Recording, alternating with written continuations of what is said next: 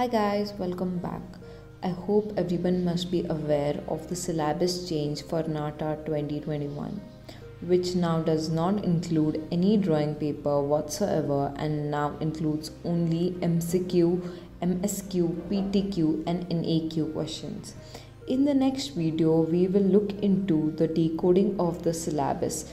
But for now, let's continue with MCQ type questions in which there will be three diagrams with top, front, and side view, and we have to choose the right view of the given diagram. Like in this case, option D has the curve shown in the top view. Further, let's check with the front and the side view, and like shown, the option D is the right answer.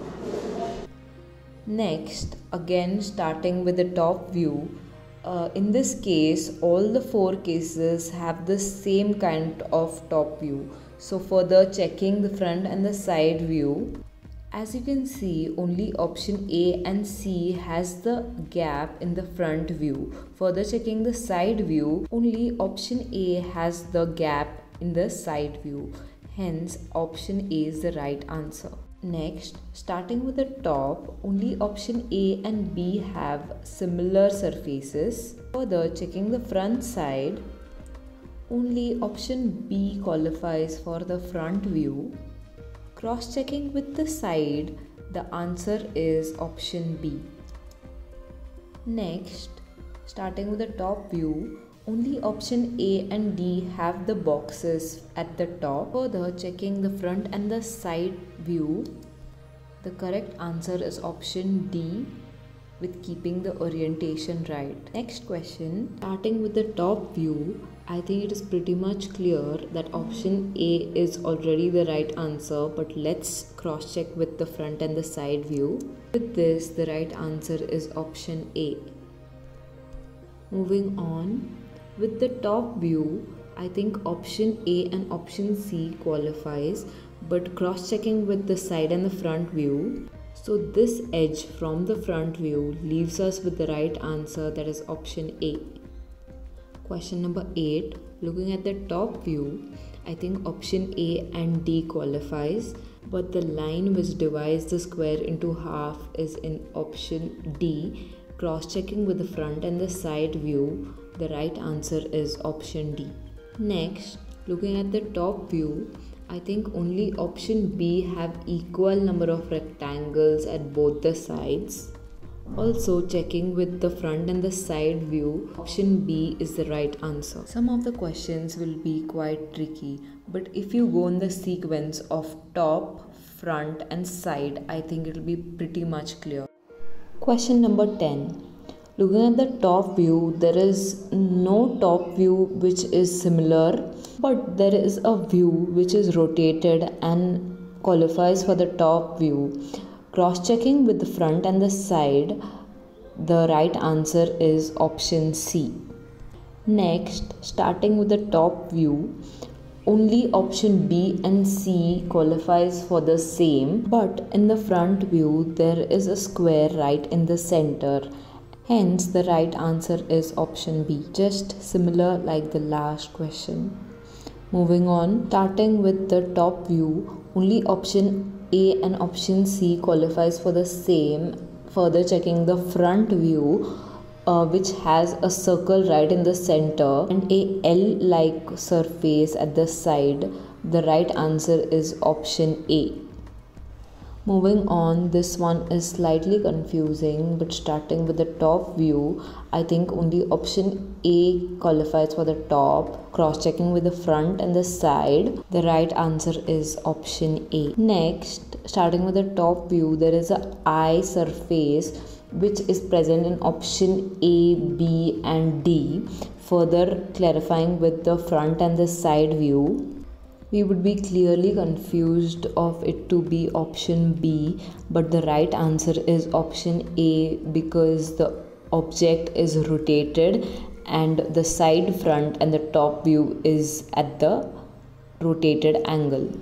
Moving on to the next question starting with the top again option A does not qualify with the T surface at the top, clarifying with the front and the side right and hence the answer is option C.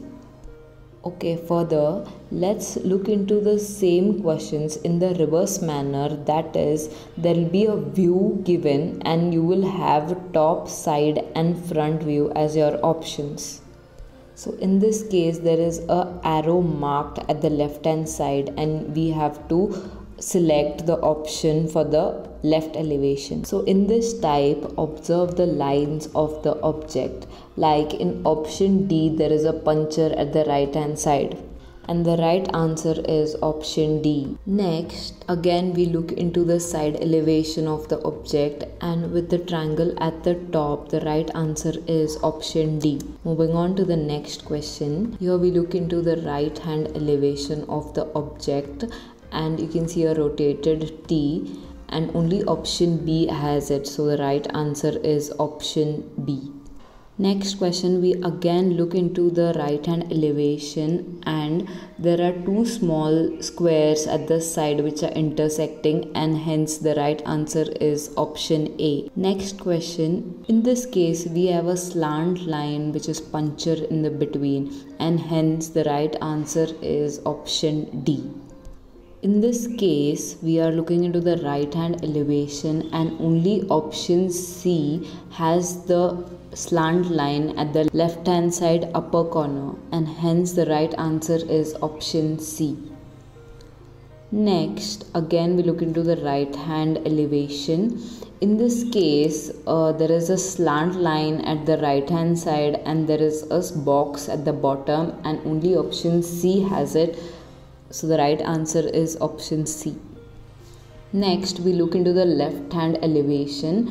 There are two boxes at the bottom, similar edges at both the hands, and there is a square in between. Hence, the right answer is option B.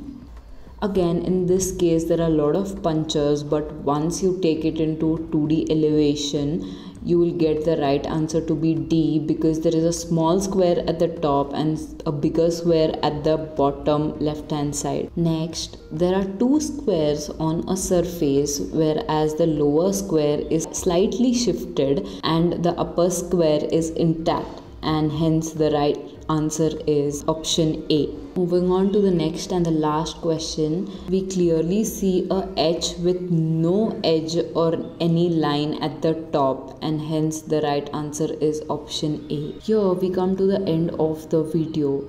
We'll be looking into more such MCQ, MSQ, PTQ and NAQ questions in the further videos. So make sure you subscribe and like this video. See you. Bye.